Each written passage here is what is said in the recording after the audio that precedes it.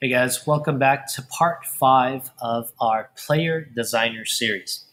This time we're going to look at how to uh, put the health of the character on the screen. Uh, as we make our journey through our game, we uh, may need to subtract the health of our player uh, to give make it somewhat more realistic.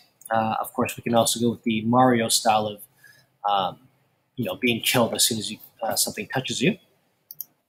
But anyways, let's talk about how to create a health bar uh, or health counter. So uh, the first thing we'll need to do is uh, in the scene of your game, uh, and you have to do this in each and every scene. Uh, but in this particular scene here, uh, what you'll need to do is you're gonna we're gonna add a little bit of code, and so we're gonna add a drawing code, and we're gonna draw some text onto here. Okay, and normally I just use the values 10, 10. That goes into the top left-hand corner usually. And uh, we're gonna show a game attribute, okay? And we haven't created this game attribute just yet. And so you will want to create a new game attribute called player health, or just health of the player. And this will be a numerical value, and we probably want the starting value to be I don't know, five units or 10 units, you can take your pick. Okay, uh, in my previous example uh, that I had over here, the starting health was 10. Okay, so I'm just gonna make this value five. And uh, I said okay to that. And I can just drag, I can get the player health value, and I'm just gonna show that onto the screen.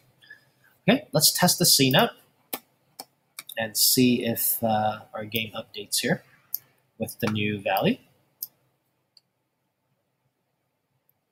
And I, it's probably a good idea just to rename this to show player health.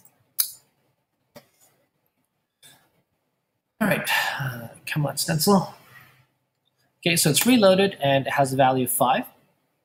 And you might have recalled in my previous one it said health 10. Okay, so I'll show you guys how to do that. And uh, what you will need to do is go under numbers and text. And usually it's on math by default. So you need to click on text and we want text and more text. Okay, and all you need to do is type in health. Okay, you can put a little colon there, uh, and then you can attach these two things together. This is actually what's called a concatenation operation. Uh, long fancy word, that just means put two strings together, or in this case, put two pieces of text together. Okay, so we're going to test that scene one more time and we should see the word health. Okay, it's often a good idea to label our values so that it's clear to our players what exactly this means, right? Is this uh, the number of lives or uh, the amount of time I have left before the game ends? Okay, so uh, it's usually a good idea to uh, name and label our health. Okay, so that is it for this tutorial.